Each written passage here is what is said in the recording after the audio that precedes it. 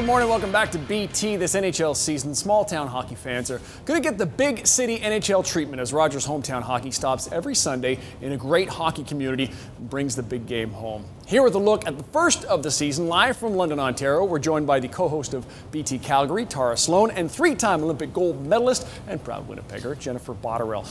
Tara, let's start with you. Uh, let's look ahead to what Londoners can expect tomorrow because they got a big party kicking off. Yeah, so there's sort of two components to these weekends. There's a broadcast component, which happens on Sunday, but there's a festival that's already starting to set up behind us. We're standing in front of the uh, Sportsnet Mobile Studio.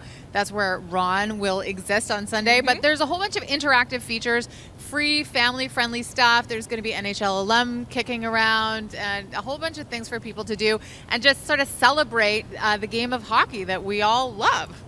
And then Jennifer, uh, Saturday night we get the return of Hockey Night in Canada and every Canadian team in action. Which game has you most excited? What are you most looking forward to?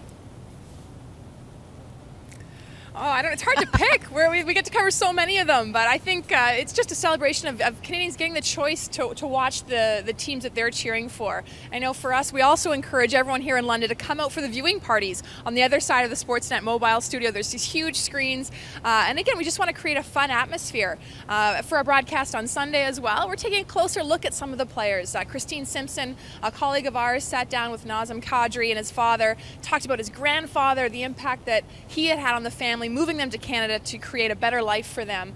Uh, so again, the whole show is about, I think, captivating Canadians and bringing them even closer to the game in a lot of different ways. So it should be a really fun weekend ahead. No question about it, because Tara, Sunday we get uh, Ron enjoying his time there with the Londoners. What can we expect when we have hometown hockey officially on Sunday? Well, the first thing that's really exciting is it is a brand new night of hockey for us here on City. So there's one game this weekend. It happens to be uh, Toronto and the New York Rangers. So there's a half hour uh, pregame show that is Rogers Hometown Hockey, and that's when Ron will be, uh, you know, taking us through these stories and these features. Um, some of what happened throughout the weekend will be featured on that as well.